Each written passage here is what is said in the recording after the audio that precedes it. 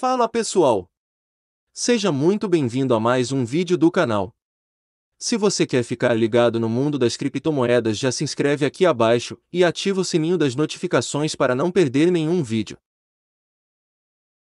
Shiba Inu se torna o token mais negociado, o principal detentor e o top 10 comprado entre as mil maiores baleias ETH depois de entrar na indústria da moda.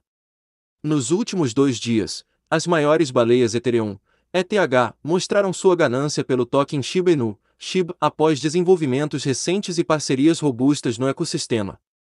De acordo com os dados recentes fornecidos pela Whale o token Shiba Inu se tornou o token mais negociado e comprado entre 100 carteiras de baleias Ethereum nas últimas 24 horas. Em média, cerca de 494.038.620 de tokens SHIB por 12.482 dólares foram comprados pelas 100 principais carteiras Ethereum Whale. Além disso, as 100 principais carteiras de baleias ETH agora possuem 1.198.694.375 dólares em SHIB, tornando-se a terceira maior posição de token em valor em dólar, seguindo Ethereum, ETH e FTX Token, FTT.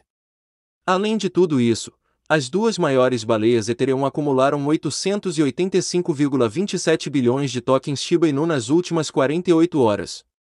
As baleias CTH ficaram com fome depois que a equipe da Shiba Inu revelou recentemente que a Shiba agora entrou na indústria da moda com a marca de John Richemont com sede na Itália. Este enorme anúncio de parceria foi perfeitamente cronometrado pela equipe Shiba Inu e tornado público em 28 de fevereiro de 2022, que marca o último dia da Semana de Moda da Itália e o primeiro dia da Paris Fashion Week. Além disso, John Richmond lançou recentemente sua coleção Spring Summer 2022 e realizará desfiles de moda em toda a Itália, o que ajudará o token Shiba Inu a ganhar uma exposição massiva em pouco tempo. Shiba e John Richmond planejam realizar desfiles de moda em Milão, Itália, e 10 mil NFTs Richmond e Shiba Inu serão lançados por meio dessa parceria.